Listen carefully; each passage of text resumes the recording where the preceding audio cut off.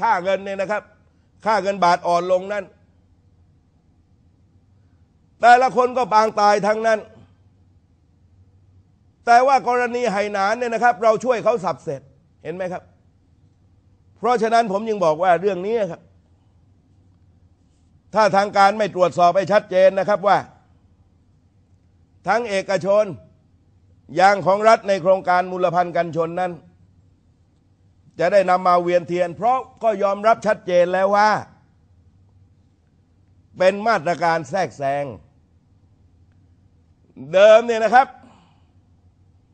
บอกว่าจะซื้อหมด แล้วก็ลดหลั่นลงมาว่าเป็นมาตรการแทรกแซง มาตรการแทรกแซงยางพาราเนี่ยครับ เดิมรัฐบาลค้ำประกันเงินกู้ให้องค์การสวนยางกู้เงินธนาคารกรุงไทยลงไปซื้อ นักการเมืองก็รู้เห็นกับพ่อค้า เงินมาตรการแทรกแซงนี่ครับแบบนี้แบบนี้พ่อค้าก็ถอย หลบฉากเนี่ยนะครับ อ้อม ปล่อยยาง ปล่อยยาง ปล่อยยาง ชาวบ้านได้เล็กน้อยทั้งนั้นและไอ้พ่อค้ายางอ้อมมาเอายางในโกดังของการสวนยางต่อ แล้วก็ซื้อเนี่ยนะครับ ยางในรูปแบบเสื่อมสภาพ เหมือนข้าวเน่านี่แหละครับ วิชายางวิชาข้าวเหมือนกัน เราสูญเงินเป็นหมื่นหมื่นล้านกับไอโครงการแบบนี้ตลอดเวลาและบางแห่งสต็อกลมที่ผมบอกอะหลังจากสต็อกลมถ้าทำท่าจะมีการตรวจสอบไฟก็ไม่ บางแห่งนะครับไฟไหม้ยางห้าล้านกิโล แต่ไฟไหม้สองชั่วโมงยางหมดอะคือความจริงมันอาจจะมียางตะกอง ทักห้าโล เหตุการณ์บ้านเมืองเนี่ยนะครับ มันเห็นกันหมด วันนี้นะครับกลับมาแบบเดิม ตอนแรกเนี่ยครับ จะซื้อชาวบ้านหมด ให้องค์การคลังสินค้าไปซื้อ นมชงหน้าบูดขึ้นมา ท้ายที่สุดเนี่ยนะครับ เมื่อกลับมาก็ปลอบใจ บอกว่าไม่ปลดจะตั้งเป็นรองนายก แล้วเนี่ยครับดึงอำนาจเนี่ยครับจากองค์การคลังสินค้ามากระทรวงเกษตรการยางเหมือนเดิม แล้วเป็นมาตรการแทรกแซงก็ไม่มีอะไรแตกต่างจากอดีตเนี่ยนะครับ ที่เขาเลิกโครงการนี้ เพราะเนี่ยนะครับ โครงการนี้มันมีปัญหา แล้วเราต้องยอมรับความจริงว่า เวลานี้นะครับ ก่อนฤดูการปิดกรีดนั้นเนี่ยนะครับ ว่าแต่ละส่วนมันไม่เหมือนกัน บางสวนทยอยใบร่วงแล้ว บางสวนเนี่ยนะครับก็เดือนหน้า บางสวนเนี่ยนะครับก็มีนา แต่ว่าหลักใหญ่ใจความนั้นชาวบ้านมันจะได้เศษตังค์ตังค์มันก็อยู่ไปพ่อพ่อค้าและก็สูตรสำเร็จตามโครงการนี้ครับ คือก็ชัดเจนก็คือแบ่งปันผลประโยชน์กันมายาวนานในอดีต พลเอกประยุทธ์จันโอชาท่านรังเกียจการคอร์รัปชันนะครับ แต่เรื่องนี้ท่านเชื่อผมเถอะที่ว่ารองนายกสุรพงศ์โตวิจักษ์เสยกุลเนี่ยนะครับเขาออกมาถามเนี่ยนะครับ ว่าทุจริตจะรับผิดชอบไหมเพราะว่ามันถ้ามันไม่มีอะไรเลยนะครับพักพวกท่านเนี่ยครับเขาจะหน้าบูดกันอย่างนั้นนะเห็นลายกันหมดเลยครับ ในวงการนี้ไม่มีความลับแล้วครับ เหมือนกับกรณีน้ำมันปาล์มในอดีตอะ ถ้าเราไม่ไปตรวจสอบว่าทำไมฝามันสองสี ฝาหนึ่งสีฟ้า ฝาหนึ่งสีชมพูอะเขาเรียกว่าแบ่งสมบัติ ผมเนี่ยนะครับไอ้คนไปเช็คถึงโรงงาน ขอความรู้ เจ้าของโรงงานเนี่ยครับ รู้จักพักพวกผมก็เลยสารภาพสิ้น ว่าฝาสีฟ้าคืออะไร ฝาสีชมพูคืออะไร ทั้งที่ราคาเท่ากันทำไมฝามีสองสี เห็นไหมครับ กรณีนี้ก็เชกเช่นเดียวกันครับ ผมบอกว่าประเทศไทยเนี่ยนะครับ เวลานี้เนี่ยมันอยู่ในสภาพที่ย่ำแย่กันอยู่แล้ว เพียงแต่ว่าเนี่ยครับ มีคนคิดปล้นบ้านที่ถูกไฟไหม้เนี่ยผมถือว่าเป็นเป็นเรื่องที่ควรประนามอย่างยิ่ง ส่วนเนี่ยนะครับ คณะกรรมการร่างรัฐธรรมนูญ จะปรับองค์กรอิสระทำงานในเชิงรุก มีสิทธิ์เตือน รัฐบาลหากโครงการไม่คุ้ม โดยจะมีการเพิ่มอำนาจเนี่ยนะครับ ให้องค์กรอิสระ ได้แก่สตงปปชกกตพิจารณาร่วมกันว่าเรื่องที่รัฐบาลดำเนินการนั้น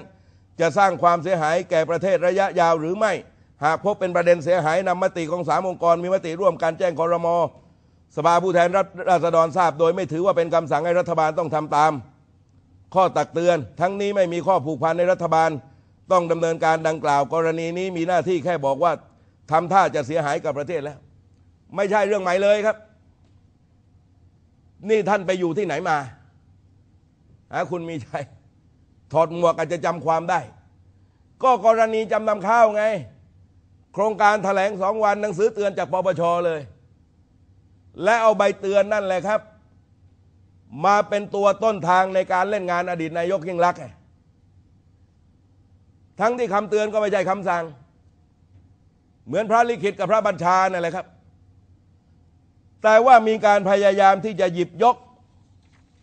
ว่าดูเหมือนสามองค์กรนี้ครับ จะมายับยัง้งและก็บอกว่าไม่ต้องทำตาม แต่ไม่ต้องทำตามก็ถูกดำเนินคดี ง่าย ๆ โดนมาแล้วครับเห็นแล้ว ว่าเนี่ยครับทำหนังสือเตือนทั้งที่โครงการประกาศตัวสองวันนะจำนำข้าวอะ สองวันนี่ขยับอะไรยังไม่ขยับอะไรเลยครับเพิ่งเปิดตัวสองวันโกงแล้ว ตั้งท่าก็โกงเลย และออยนั่นแหละครับ มาเป็นตัวตั้งและก็ให้ TDRI ซึ่งเป็นตัวยืนในโครงการประกันราคาพืชผล ซึ่งเป็นการประกันราคาข้าวของรัฐบาลชุดก่อนนั้น ไปทำรายงานวิจัย ซึ่งเขามีทัศนคติในเชิงลบกับโครงการจำนำข้าวอยู่แล้ว นี่คือสภาพการที่มันเกิดขึ้นวันนี้ท่านก็บอกว่า ปรับและเชิงรุก ให้สามองค์กรที่มีมติ อย่าว่าแต่สามองค์กรเลยครับ องค์กรเดียวก็แย่อยู่แล้วทำได้ทุกอย่างเลยครับ ถ้าไม่ใช่พวกอะประเด็นสุดท้ายครับ ผมจะเชิญท่านทั้งหลายลงเรือลำเดียวกันอีกแล้วเพราะรอบที่แล้วนั้นเนี่ยนะครับ พี่น้องเราจำนวนมากก็ไม่ได้ไป และโดยมากก็เป็นผู้อาวุโส ก็เลยมีความคิดกันว่า เราควรจะไปช่วงเย็น แล้วก็สองลำน้ำเนี่ยสองข้างลำน้ำเจ้าพยาเนี่ยนะครับ ผมเองก็เคยมีโอกาสล่องเรือกับเขาครั้งหนึ่ง วันเวลารับแขกบ้านแขกเมืองของเรา ก็เห็นความสวยงามเนี่ยนะครับของสองข้างทาง ใช้เวลาเนี่ยครับ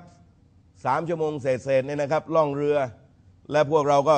ร้องรำทำเพลงกิจกรรมพบปะ รับประทานอาหาร กันแบบพี่แบบน้องแบบญาติสนิทมิตรสหายนะครับในวันที่สองกุมภาพันธ์ ซึ่งก็ผมบอกกับท่านทั้งหลายนิดนึงนะครับว่าท่านก็ต้องรีบจองมา เพราะว่าพอตอนปลายแล้วมันจะมากระจุก แล้วก็คนเกินเนี่ยนะครับ